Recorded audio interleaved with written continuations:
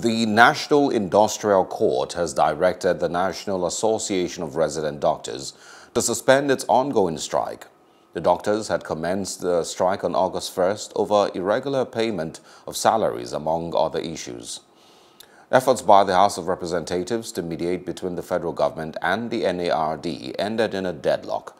The federal government then instituted a suit against the association.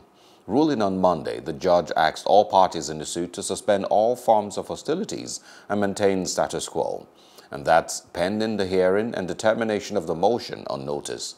The judge further ordered that a hearing notice be issued and other processes be served on the defendant, including the originating summons.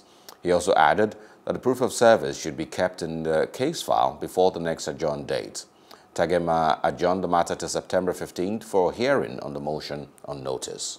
Hello, hope you enjoyed the news. Please do subscribe to our YouTube channel and don't forget to hit the notification button so you get notified about fresh news updates.